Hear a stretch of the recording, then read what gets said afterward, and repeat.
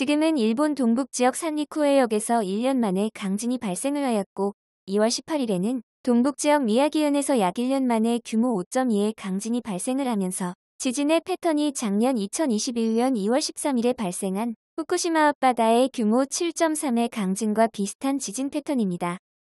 이번에 동북 지역 미야기현 앞바다에서 12시간의 3회 연속으로 지진이 일어났습니다. 미야기현 앞바다에서 약 12시간의 3회 지진이 일어나는 것도 약 1년 만입니다.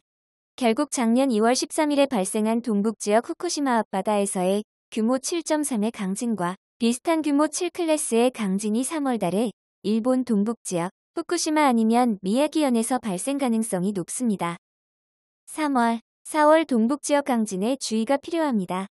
3월 7일 월요일 현재 일본은 장기, 중기, 단기적인 대지진의 모든 전조 현상들이 겹쳐져 있을 만큼 대지진 위기입니다. 또한 미해현에서도 이상 진역이 발생하여서 대지진의 모든 조건이 갖추어져 있습니다. 또한 3월 2일에 뉴질랜드에서 규모 6.8의 강진이 발생을 하였고 하루 뒤가 3월 3일 초승달이었습니다. 과거 데이터를 보면 뉴질랜드와 바누아투에서 강진 발생 2주 후에는 같은 규모의 강진이 발생하는 일이 많았으므로 2주 후인 3월 16일까지는 주의하시기 바랍니다. 최근 고래 사체의 발견과 지진 횟수의 감소, 그리고 관측 사상 최대의 slow slip 현상이 와카야마현에서 발견되었습니다. 3월은 동일본 대지진이 발생한 달입니다. 그리고 최근 미에현의 이상진역 및 지진이 증가하는 것 관련하여 인도 지진학자의 칼럼이 오늘 올라와서 소개해드리겠습니다. 이것은 그 지진학자 개인의 주장임을 미리 말씀을 드립니다. 인도 지진학자의 주장에 의하면 통가의 해저화산 대폭발이 와카야마현에 영향을 주면서 관측 사상 최대의 slow slip 현상이 와카야마현에서 발견되었고 그로 인하여 일본 와카야마현과 미에현의 대부분의 구마노 지역을 크게 자극하면서 와카야마현과 미에현에서 대지진이 곧 발생할 수 있다는 주장입니다.